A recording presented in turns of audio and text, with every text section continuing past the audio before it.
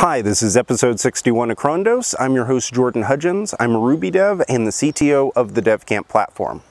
If you're new to object-oriented programming, a natural question to ask is, what does instantiation mean? Like many other concepts in the development world, instantiation is actually a relatively straightforward concept that suffers from having an overly complex name. Before we dive into the code, let's analyze a real-world example of instantiation. And a quick spoiler alert, if you understand what it takes to build a house, you already understand instantiation. Let's imagine that you're building a house.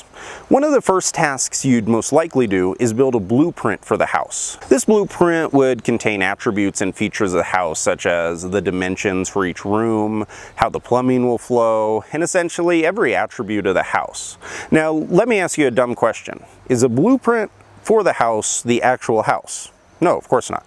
It simply lists out the attributes and design for the how the home is going to be created. So after the blueprint is completed, the actual home can be built.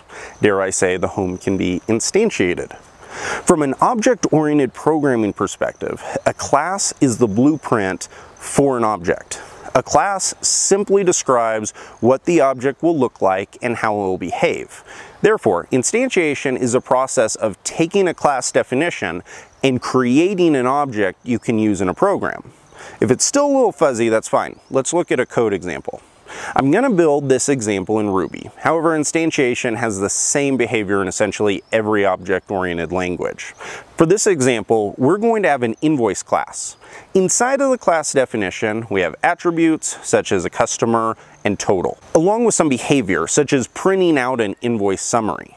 Now, if we create an instance of invoice and store it in a variable, as shown here, I've used instantiation to take a class and build an object based on the class definition. And with this process in place, I can use the object to perform tasks, such as printing out the summary. So at its core, instantiation is a process of taking a class and creating an object from it that you can actually use in your program.